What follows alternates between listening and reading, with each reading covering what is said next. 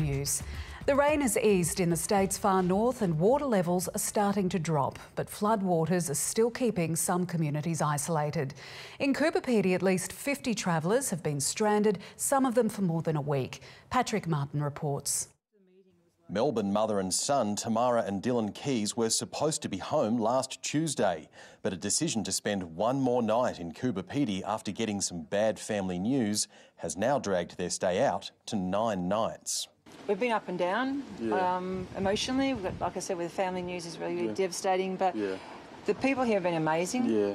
With the Stuart Highway still closed because of flooding, they considered returning home the long way, a six day trip through Queensland and New South Wales. Well, we can't really wait it out. Dylan's got to be back at school. Um, I've got to get back to work. The Red Cross has taken on the task of identifying just how many people are stranded in the opal mining town and what help they need. We think that there's probably about 50 people that have already approached Red Cross to get information and support, but that's conservative um, because some people have already left.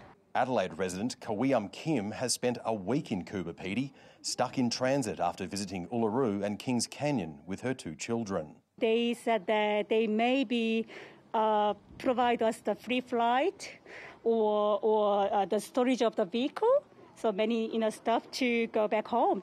People on the APY lands are home, but they're surrounded by the floodwaters and food stocks are dwindling. We're still waiting for the rain to stop, for the trucks to come in, but I don't know. It's the rain is really big.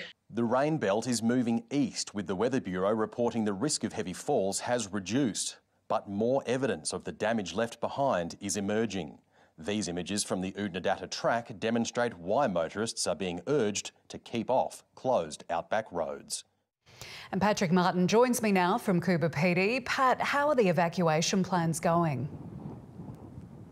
Well, Jess, many uh, stranded travellers here in Coober Pedy were expecting to be here at Coober Pedy Airport tonight, and at about this time they were expecting to be boarding an Australian Defence Force plane and heading back to Adelaide. That was the message they were given by the state's emergency services, and they spent most of the afternoon making difficult decisions about which of their belongings they'd be taking with them. However, late uh, this afternoon they were told that the first evacuation flight is likely to leave late tomorrow at the earliest, and the people that I spoke to, whilst obviously a little disappointed that they weren't leaving, were ultimately happy that authorities were just looking at every single way possible to get them out of the situation that they were in. And there's no doubt that everyone involved in this operation is reviewing how best to get people out, given that the flooding on the Stuart Highway at Glendambo is reducing. It may be actually more inefficient for people to fly back to Adelaide, leaving their cars and caravans here, only to have to turn around in possibly a few days' time to come back up and get their uh, get their things. And so